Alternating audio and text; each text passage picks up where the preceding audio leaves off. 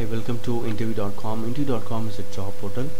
If you're looking for a job, you can log on to interview.com and you can post your resume with us.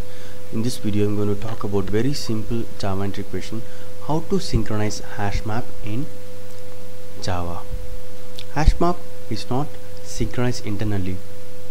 Just that if multiple thread access or modify the contents of hash map, then there is a possibility of inconsistent data in hash map. That hence it's not a thread safe. Currently, the hash map is is not thread safe. Okay, it does not have any synchronized keyword in internally. I'll be showing that um, using the decompiler.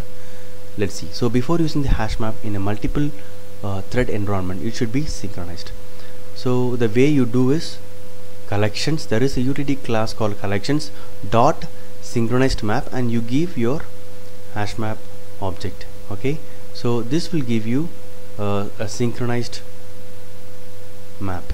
Let's see how exactly uh, currently the hash map classes. So I'm I have opened the rt.jar okay? It's a core jar for Java application and I have opened hash map.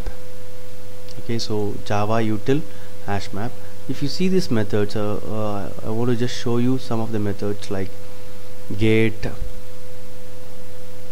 contains key put method. These are not these these are the methods that are not synchronized. There is no synchronized method here okay? So this this hash map is not thread safe okay?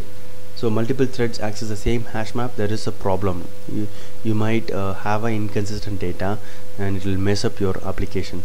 So in order to in order to synchronize your hash map you should have collections utility class uh, java util and here java util collections utility class.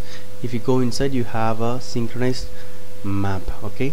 So if you go and check these methods it has synchronized. So for get put put all. For these methods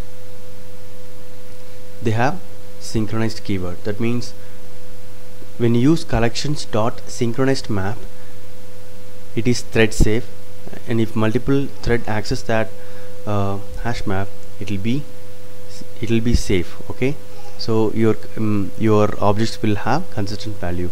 Hope this video is useful for a java interview preparation. Thank you and all the best for your interview. If you like this video please press the like and subscribe button. Thank you